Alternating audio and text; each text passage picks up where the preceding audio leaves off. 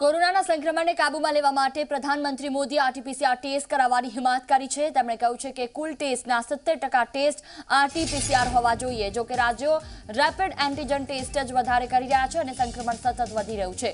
ગુજરાત, મહારાષ્ટ્ર, પંજાબ, છત્તીસગઢે ફેબ્રુઆરીથી એપ્રિલ વચ્ચે આરટીપીસીઆર ટેસ્ટ સતત ઘટાડ્યા છે. આ રાજ્યોમાં સંક્રમણ વધવાનું આ એક કારણ છે.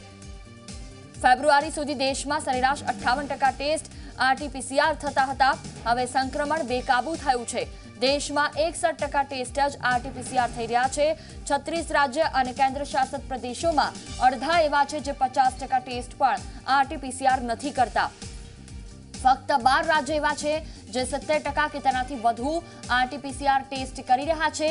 ગુજરાતમાં માત્ર સત્યાવીસ ટકા આરટીપીસીઆર ટેસ્ટ થાય છે. પાંચ રાજ્ય એવા છે જે પચાસ ટકાથી વધુ છે, પરંતુ નક્કી માત્રાથી ઓછો આરટીપીસીઆર ટેસ્ટ કરી રહ્યા છે. બાર રાજ્ય ચાલીસ ટકા કે ઓછા આરટીપીસીઆર ટેસ્ટ કરી રહ્યા છે. કેન્દ્રીય આરોગ્ય સચિવ રાજેશ ભૂષણે કહ્યું છે કે રાજ્યોમાં આરટીપીસીઆર ટેસ્ટ ઓછા થઈ રહ્યા છે. આ આંકડો સિત્તેર ટકા જેટલો ઓછો હોવો જોઈએ.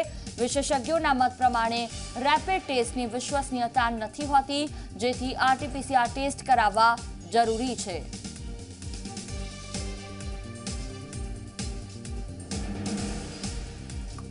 તો કુલ ટેસ્ટના સિત્તેર ટકા ટેસ્ટ આરટીપીસીઆર હોવા જોઈએ. પ્રધાનમંત્રી નરેન્દ્ર મોદીએ તમામ રાજ્યોના મુખ્યમંત્રીઓ સાથેની વાતચીતમાં ટકોર કરી છે.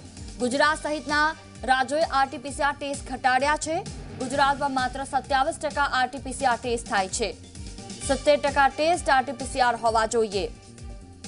મહારાષ્ટ્ર, પંજાબ, રાજસ્થાન, ગુજરાત તમામ રાજ્યોમાં કોરોનાના કેસ સતત વધી રહ્યા છે. તેનું કારણ આ છે કે આરટીપીસીઆર ટેસ્ટમાં ઘટાડો કરવામાં આવ્યો છે. રેપિડ એન્ટીજન ટેસ્ટ સતત વધારવામાં આવ્યા, પરંતુ આરટીપીસીઆર ટેસ્ટમાં ઘટાડો થયો છે.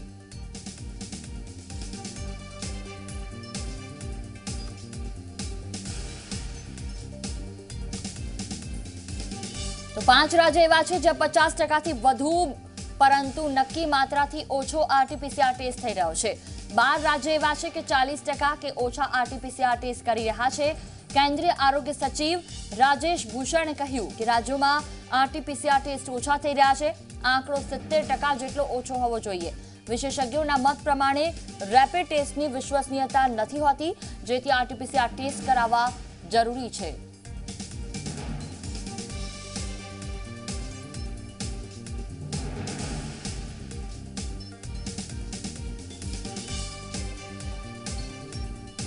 તો મારી સાથે ડોક્ટર પ્રવીણ ગર્ગ જોડાયા છે, જો એમડી છે. તેમની સાથે વાતચીત કરીશું. જી, ડોક્ટર, ગુજરાતમાં આરટીપીસીઆર ટેસ્ટનું જે પ્રમાણ છે, તે જરૂર કરતાં ઓછું છે. તેવું પ્રધાનમંત્રીએ ગઈકાલે કહ્યું છે, સરેરાશ કેટલું હોવું જોઈએ જેનાથી કોરોનાને વધારે લોકોમાં સંક્રમિત થતો અટકાવી શકાય.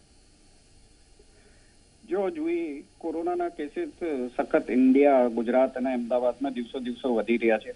આપણે જ્યારે પણ એક વર્ષ પહેલા કોરોનાના કેસીસની શરૂઆત થઈ હતી તો કોરોનાથી રોકવા માટે એક જ જે ઉપચાર હતો એ હતો ટેસ્ટિંગ ટેસ્ટિંગ ટેસ્ટિંગ વડાપ્રધાન અને ડબ્લ્યુએચઓ જેટલી પણ વર્લ્ડની જે જે એજન્સી છે બધાનો એક જ મંત્ર કોરોનાથી રોકવા માટે છે કે ભાઈ ટેસ્ટિંગ ટેસ્ટિંગ ટેસ્ટિંગ તમે જેટલી પણ ટેસ્ટિંગ વધારે કરશો અને જેટલા લોકો તમે ને જેમને ડાયગ્નોઝ કરશો એમને આઇસોલેટ કરશો તો તમે કોરોનાની ચેનને અટકાવી શકો છો. કાલે વડાપ્રધાન પણ આ જ વાત કહી કે એ સિમ્ટોમેટિક કેરિયર બહુ છે જે લોકોને સિમ્ટમ્સ નથી. એ લોકો પણ વાયરસ ઘરે લઈને આવી રહ્યા છે અને આખી ફેમિલીને ફેલાઈ રહ્યા છે. અને અત્યારે એક અનફોર્ચ્યુનેટ જે વાત અમે પણ જોઈ રહ્યા છે કે જે કોન્ટેક્ટ ટ્રેસિંગ કોરોનાના કેસ પોઝિટિવ આવ્યા પછી એ માણસ છેલ્લા અઠવાડિયામાંથી કે કે લોકોને મળ્યો. જે જે લોકોના કોન્ટેક્ટ ટ્રેસિંગ કદાચ અનફોર્ચ્યુનેટલી અત્યારે ઓછી જોવામાં મળી રહી છે. આના કરતા પણ કોરોનાના કેસીસ સતત વધી રહ્યા છે. કેમ કે આ વાયરસનો પ્રસાર એક ફેમિલી મેમ્બરથી બીજા ફેમિલી મેમ્બરને કેમ કે અનડાયગ્નોસ થવાના કારણથી બીજા ઉપર ફેલાઈ રહ્યો છે. તો જેટલા પણ આપણે ટેસ્ટિંગ ઉપર વધારે પ્રસાર કરીશ ત્યારે જ આ કોરોનાની ચેનથી આપણે રોકી શકીએ. ટેસ્ટિંગ વધારે થશે લોકોનો કેસ ડાયગ્નોઝ થશે કે આઇસોલેટ થશે તો બીજામાં ઇન્ફેક્શન ઓછું આપશે. અનફોર્ચ્યુનેટલી અત્યારે લોકો પણ ટેસ્ટિંગ માટે ગભરાઈ રહ્યા છે. ચાર પાંચ દિવસ વાયરલના સિમ્ટમ્સ હોય તો એ લોકો ઇગ્નોર કરતા હોઈએ સેલ્ફ મેડિકેશન કરતા હોઈએ. ત્યાર સુધીમાં ફેમિલીમાં બધા લોકોના ઇન્ફેક્શનનો પ્રસાર થઈ રહ્યો છે. તો કોરોનાથી ચેનને અટકાવવા માટે testing testing testing contact tracing અને આઇસોલેશન આ ત્રણ જ કારગર ઉપચાર છે. બિલકુલ. ખૂબ ખૂબ આભાર આપનો ડોક્ટર પ્રવીણ. તો ગુજરાતમાં આરટીપીસીઆર ટેસ્ટનું પ્રમાણ જરૂર કરતાં ઓછું છે જેને વધારવામાં આવે અને તેમાં આગામી સમયમાં કોરોનાની ચેન છે તેને રોકી શકાય છે. કેમ કે હવે નવો સ્ટ્રેન જે આવ્યો છે, જેના લક્ષણો પણ અલગ છે. જેથી એક વ્યક્તિ જો બહારથી કોરોના લઈને આવે છે અને તેને ગળામાં નથી દુખતું કે પહેલાં જે પરિસ્થિતિ સર્જાતી હતી તેવું ન થાય, તો પછી પરિવારને પણ ચેપ લગાડી શકે છે.